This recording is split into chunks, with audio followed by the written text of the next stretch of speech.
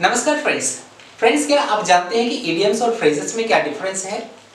किंतु डिफरेंस जानने से पहले हम लोग इस बात को जान ले कि इडियम्स को हम लोग इडियम्स ही पढ़ते हैं, न कि आप इसे आइडियम्स पढ़ देंगे। तो अब चलते हैं दोस्तों फ्रेजेस के बारे में जानकारी हासिल करते हैं कि फ्रेजेस कहते किसे हैं।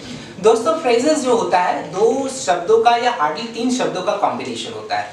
जो फ्रेजेस होते हैं, उसके जो अंतिम जो शब्द होते हैं, वे या तो प्रिपोजिशन हो सकते हैं, या तो कोई एडवर्बियल पार्टिकल होते हैं। ये और यदि किसी भी शब्द में, यदि कोई एडवर्बियल पार्टिकल या प्रेपोजिशन लगा दिया जाए तो उसका एक खास मतलब देता है। लेकिन यदि उसमें किसी भी तरह का कोई बदलाव आ जाता है तो फिर मीनिंग में डिफरेंस आ जाती है। जैसे आप एक शब्द को लेकर के चले, लुक को। लुक के साथ यदि आप टू लगा देते हैं तो इसका मतलब हो जाता है आशा भरी निगाहों से देखना। लुक के साथ यदि आप डाउन अपॉन लगा देते हैं तो मतलब हो जाता है नापसंदगी से देखना, घृणा के दृष्टि से देखना या हेल दृष्टि से देखना। यदि आप लुक के साथ आप इंटू लगा देते हैं तो मतलब हो जाता है छानबीन करना। लेकिन यदि लुक के साथ आप आफ्टर लगा देते हैं तो इसका मतलब हो जाता है देखभाल करना। और लुक के साथ यदि आप आप जो है ना सो फॉर लगा देते हैं तो मतलब हो जाता है खोजना। तो ये रहा हम लोगों का फ्रेजेस अब चलते हैं इडियम्स के बारे में थोड़ी जानकारी ले लेते हैं। दोस्तों इडियम्स जो होता है वो फ्रेजेस से थोड़ा भिन्न होता है। इडियम्स में क्या होता है कि, कि, कि कोई ज़रूरी नहीं है कि, कि यह दो शब्दों या तीन शब्दों का मेल होता है। यह तीन से ज़्यादा शब्दों के भी मेल रह सकते हैं। और इसके दो अर्थ होते हैं। जो पहला अर्थ होता है वह आपका शाब्दिक अर्थ होता है और दूसरा जो अर्थ होता है वह अलंकारिक या रियल या डिक्शनरी अर्थ होता है। आप एक एग्ज़ाम्पल से इसे समझेंगे।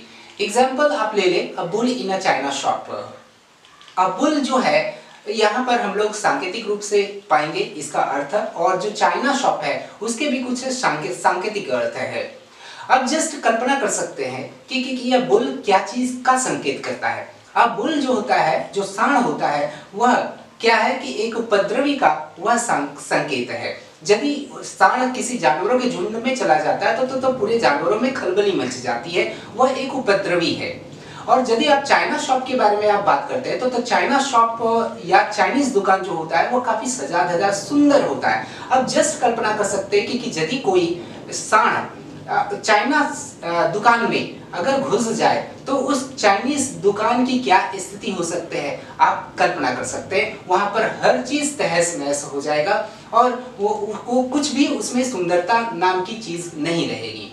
इसे हम लोग एक उदाहरण से समझेंगे। उदाहरण आप इस तरह से ले सकते हैं कि कि मीटिंग बहुत अच्छी चल रही थी हर कुछ अच्छा चल रहा था, लेकिन वह आया और मीटिंग का जो मूड है, वो बिगड़ गया। तब उस व्यक्ति के बारे में आप कहेंगे कि he was a bull in a China shop दूसरा एक एग्ज़ाम्पल से आप समझेंगे कि हमारी पार्टी बहुत अच्छी चल रही थी, सब लोग मस्ती कर रहे थे, किंतु वो फलाना व्यक्ति आया और हमारे मीटिंग का मज़ा ही किरकिरा कर दिया।